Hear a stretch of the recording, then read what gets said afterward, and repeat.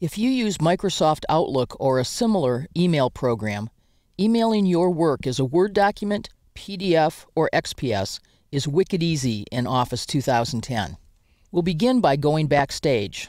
I'll click the File tab. We always end up in the Info category when we go backstage, so this is a good reminder that if we're sending this document outside of our team or organization, it's a really good idea to inspect documents directly before you email them but we're going to pay attention to save and send. Under send using email, we have five choices. Send as attachment, send a link, which we'll be talking about later in this chapter, send as PDF, send as XPS, and then finally, if you have an internet fax service, send as internet fax.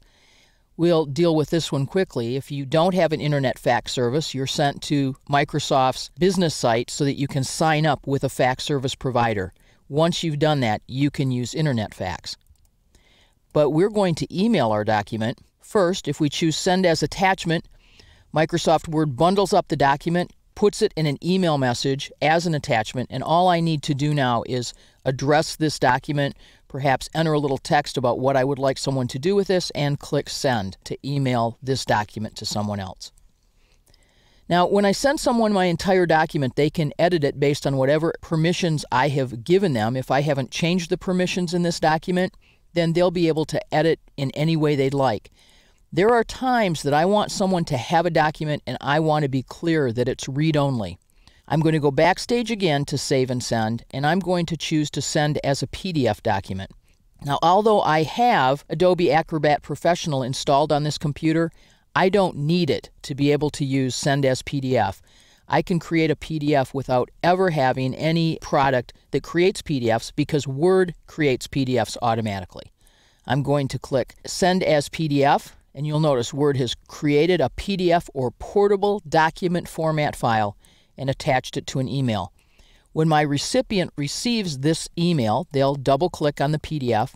If they don't have a relatively recent version of Adobe Reader, they'll be prompted to go online and download one for free.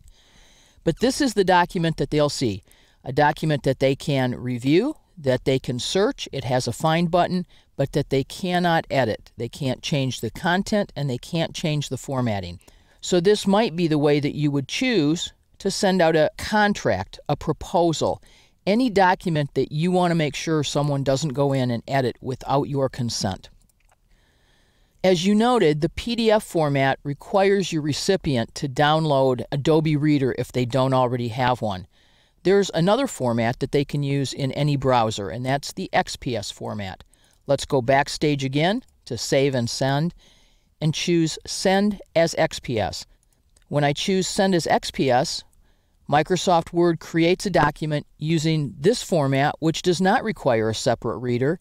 When your recipient gets this email and they double click and open, the document you sent will be opened in either a browser, such as Internet Explorer, or if they are running Windows 7, it will open in the Windows 7 XPS viewer.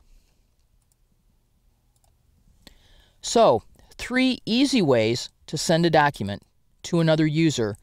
If you need them to be able to edit the document, send it as an attachment. If, however, you simply want them to be able to view and print the document, send it either as a PDF or an XPS.